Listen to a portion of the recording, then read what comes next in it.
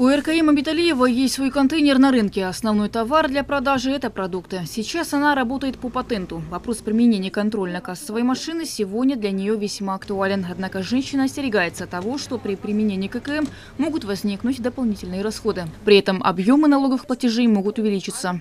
Если кассовый аппарат келсе 4% келет деді Мы посчитали, что при годовом обороте 8 миллионов нужно оплачивать единый налог в размере 4%. Это получается 320 тысяч. Но кроме этого мы оплачиваем аренду в размере 40 тысяч сомов в месяц. В итоге нам самим ничего не остается. Более того, мы можем уйти в минус. Поэтому при внедрении ККМ у нас возникают вопросы. Да и к тому же расходы на обслуживание ККМ есть.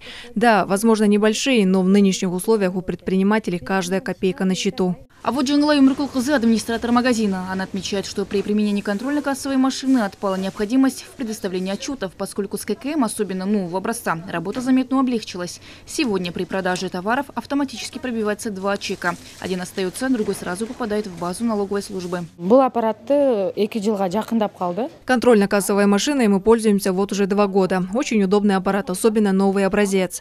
Конечно, когда мы работали со старой моделью, нам приходилось пробивать чек на компьютере и еще отдельно на ККМ.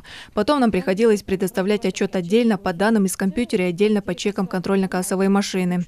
Сейчас же отчет формируется автоматически. Все открыто и прозрачно. И у налоговой службы нам нет никаких вопросов. Как отмечают предприниматели, сегодня относительное применение ККМ недостаточно информации, поэтому у субъектов возникает много вопросов. Ранее глава Кабмина Акалбек Джапаров встретился с руководителями крупных столичных рынков и объяснил значимость нововведений. бізге учет движения товаров керек кыргызстанга Уверен, что придет время, когда мы даже откажемся от налоговых проверок, так как ЭТТН и другие инструменты фискализации полностью будут отражать реальные цифры. Для индивидуальных предпринимателей, которые ведут свою деятельность на рынках и мини-рынках с годовым оборотом до 100 миллионов сомов, планируется ввести единый налог в размере 0,1% от выручки. Это приемлемо и не нужно никаких отчетов. К примеру, если э, у субъекта за 12 месяцев э, выручка составит 50 миллионов, э, этот данный субъект должен будет оплатить 50 тысяч сомов за год.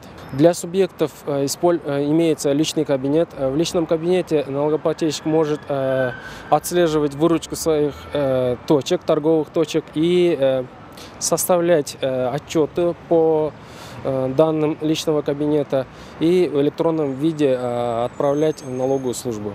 По итогам встречи главы Кабмина с руководителями крупных столичных рынков Акалбек Джапаров поручил Минэкономике разработать документы, которые позволяют отсрочить внедрение аппаратов для работников рынков до конца года. до конца года освободить от применения контрольно-кассовых машин. Это, это делается с тем, чтобы э, со стороны государства деньги выделены. Сейчас идет вопрос приобретения контрольно-кассовых машин и распространения. Аналогично тому же, как, как и было в прошлом году. Пока мы начнем работу по подготовке брошюр для того, чтобы э, предприниматели могли э, знать, э, как им действовать, что им надо для того, чтобы перейти вот под этот налоговый режим. Цель нововведения – обеспечить открытость и прозрачность. В настоящее время более 65 тысяч субъектов пользуются контрольно-кассовыми машинами, сообщили в налоговой службе. Кундус Кадатавя, Бигджан Туктусунов, Фалато, 24.